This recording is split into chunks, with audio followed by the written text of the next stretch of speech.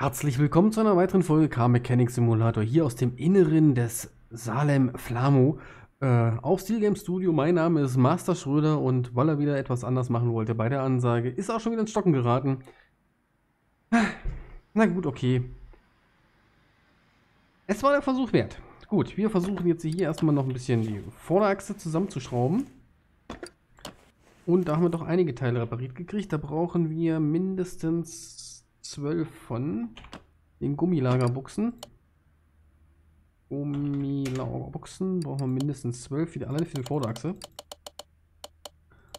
Äh, Hinterachse ist glaube ich gar keine. Ne, doch, da waren zwei.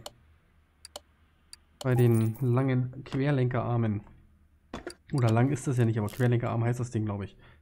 So, dann Gummilagerbuchse so, was haben wir denn hier noch Schönes? Das ist der Stabi B, ne? Ne, der normale Stabilisator. Okay. Äh, oh, dann... Puh. Stange.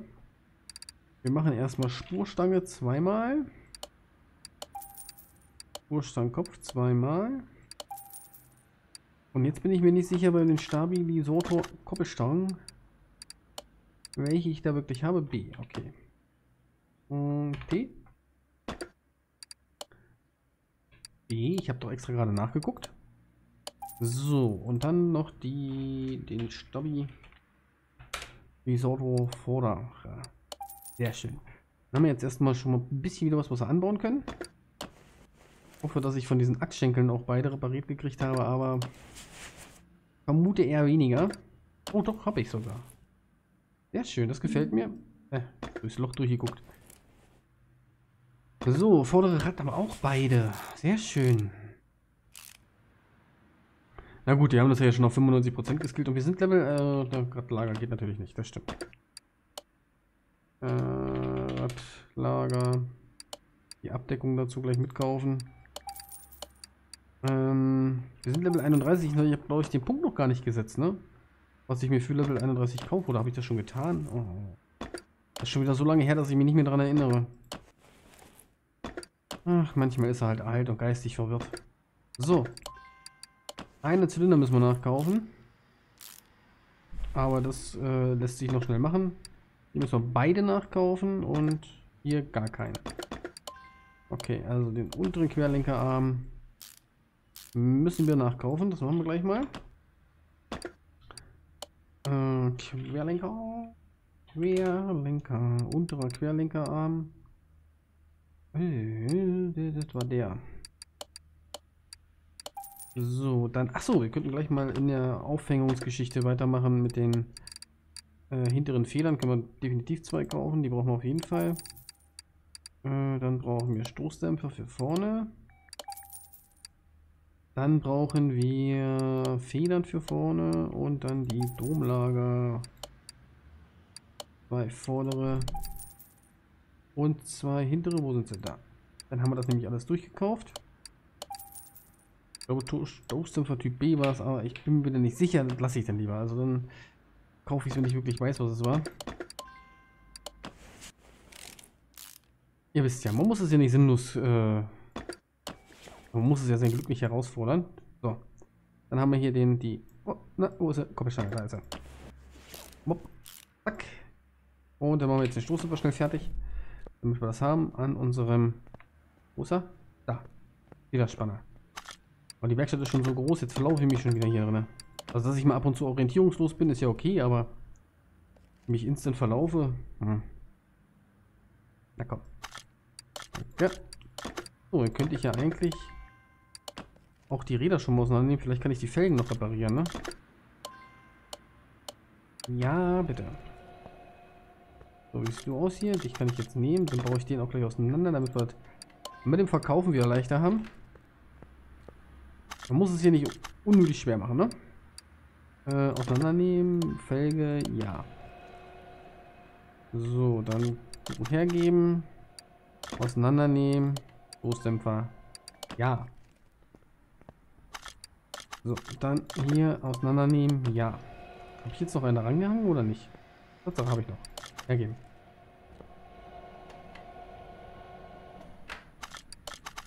Und einen haben wir noch.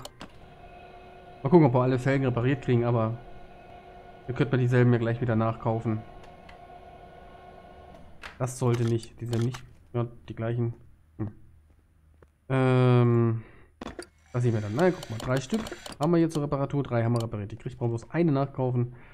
Macht schon mal Unmengen an Geld. Gut, Unmengen jetzt auch nicht, aber es sind, werden so 150 Dollar, werden das bestimmt sein, die wir dadurch sparen. Und warum sollte man das nicht wenigstens versuchen? So. Wir wollen ja dann doch mit äh, maximalen Gewinn jetzt äh, auch, dann auch das Geld zusammen haben, damit wir den McLaren F1 richtig schön machen können. Ich denke mal, da werden die Karosserieteile sehr teuer sein. Äh, das ist natürlich auch ein Auto, was wir nicht verkaufen können. Ne? Das ist wieder was, das kommt natürlich hundertprozentig in die Werkstatt. Na, McLaren F1 heißt er ja nicht, aber so ein McLaren P... irgendwas ist das. Ach ja, den Zylinder wollte ich noch nachkaufen. Bremsen, Radbremszylinder, danke. Oder ein Radbremszylinder ist es ja nicht, das ist ja der vom... Von der Bremszange. Hm, naja gut, Bremssattel hätte ich jetzt eher gesagt, aber gut. Na, komm. So, Schraub, Schraub, Schraub. Und dann machen wir hier den oberen Querlenker. Auch nochmal ganz hübsch. Manchmal klicke ich so leicht daneben, ne? Vielleicht bin ich auch wieder überhastet. So, Stoßdämpfer haben wir ja nun. Rein damit. Dann hier die Stabilisator, Koppelstange. Und dazu dann noch den Gummilagerbuchsen hier, die darf ich wieder nicht vergessen. Muss ich gleich auf der anderen Seite nochmal gucken, ob ich die da auch habe. Ja, habe ich sogar. Okay, gut. Dann hier noch den Stoßdämpfer hinterher. So. Sehr schön. Dann haben wir doch die Vorderachse eigentlich schon wieder bis auf die Puschen. Fertig. So, dann können wir hier gleich mal das noch machen mit dem Auspuff und den Ölfilter. Welchen noch wir? R4. Ölfilter. R4, der blaue ist es. Und die Wanne für den R4 kaufen wir auch gleich mit. Ähm, Kopfkratz. Ach ja, Flammrohr. Flammrohr nehmen wir mit. Dann brauchen wir mindestens einen Mittelschalldämpfer. Den habe ich abgebaut. Und was fehlt uns dann noch auf dem Weg? Nehmen wir erstmal das Flammrohr ein. Mittelschalldämpfer. So, jetzt kann man hier wieder fast nicht durchgucken. Ah. Er will nicht. So, da jetzt. Ach ja, doch der Endschalldämpfer war das sogar. Alles klar. Ja, V8 Endschalldämpfer war das wieder. Kommt der mit dem dicken Rohr raus.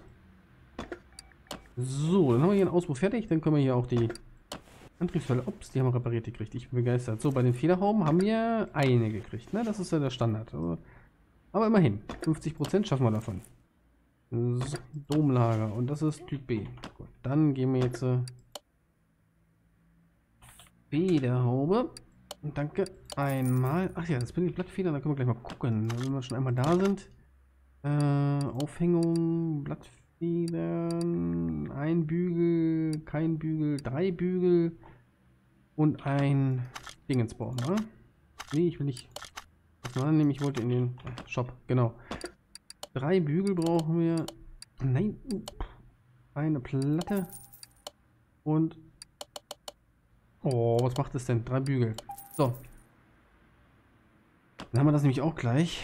Ähm, ja. Achso, und Stoßdämpfer Typ B, den müssen wir natürlich auch noch kaufen. Hm. Wenn ich eigentlich los bin. Hoppala. Z. Ohne P. Äh, Stoßdämpfer Typ B. Bitte zweimal. Dankeschön. Wir sagen Dankeschön und auf Wiedersehen. Macht die Bühne frei, die Show muss weiter. Upsala, das sind beide. Beide kaputt. Hinter Querlenker. Also.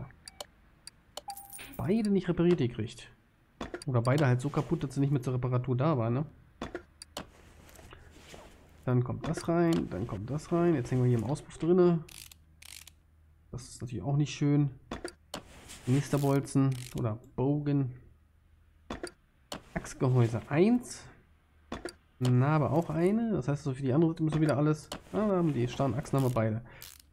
Für die andere Seite müssen wir wieder alles äh, einmal kaufen.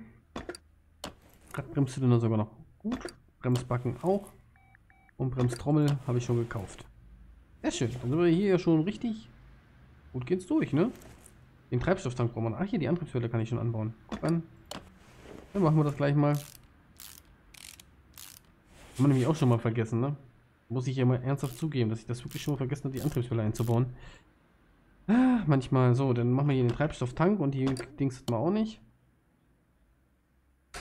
Treibstofftank und Pumpe. Und ab dafür. So. Dann machen wir, upsala, nicht daneben hopsen. Die Federhaube, die haben wir schon gekauft, genau, die Feder auch. Und das Domlager. Dazu noch den Stoßdämpfer Typ B. Upsala. So. Hinteren Querlenker. Die Platten. So. Na.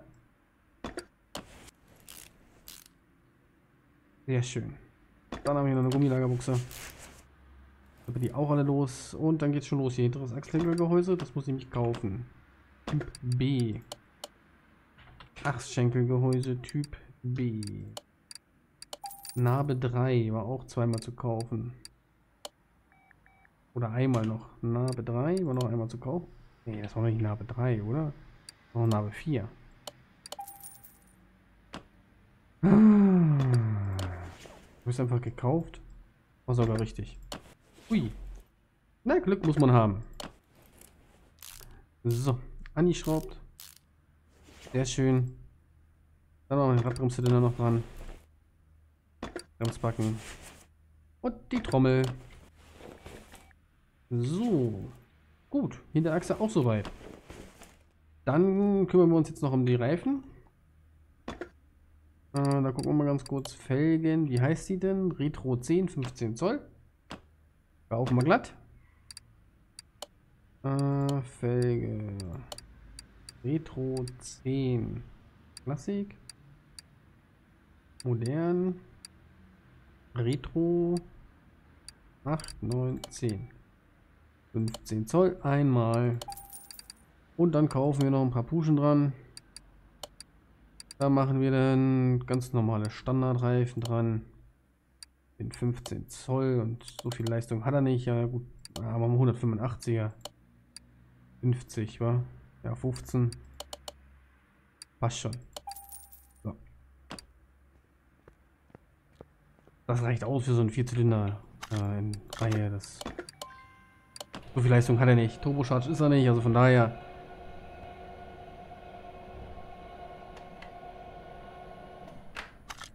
komm her.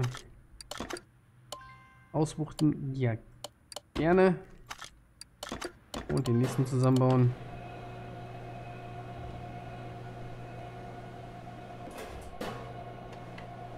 Hm. Oh doch, das sieht schon ganz gut aus. Das kann man so nehmen. Also diese Reifenkonstellation und so, passt schon. Müsste man mal gucken, was wirklich drauf war. Da liege ich glaube ich gar nicht so weit weg von. Ich glaube 195er drauf oder sowas. Ah, können wir hier mal gleich gucken. 185, ah, 485, 60 F15 waren drauf, okay. Ja Gott, da sind wir noch ganz nah dran.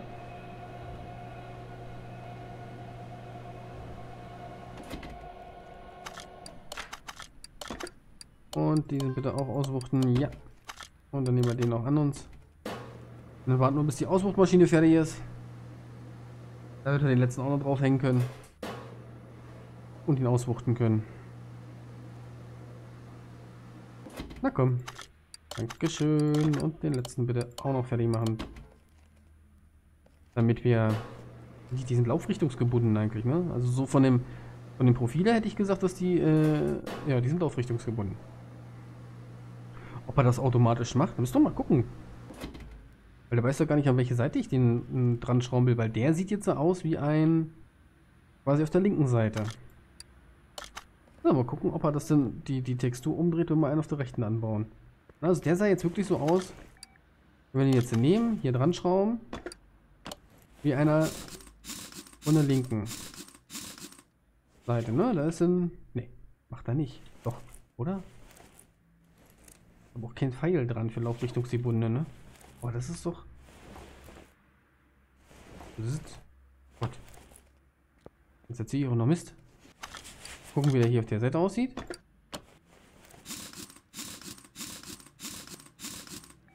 Ach, genauso. Ah ja. Muss er doch den andersrum draufziehen. Hm. Also sind auf jeden Fall Laufrichtungsgebunden. Also das äh, würde ich jetzt mal ganz fest behaupten. Gut, aber so ist das halt. Behaupte ich jetzt einfach mal, falls ihr da anderer Meinung seid, ne, könnt ihr dann gerne mal ganz kurz schimpfen. Aber nicht so doll. Äh. Wie? Hier darf ich noch nicht, weil ich was vergessen habe. Ah, ein Buchstabkopf. Guck an. Da ist er.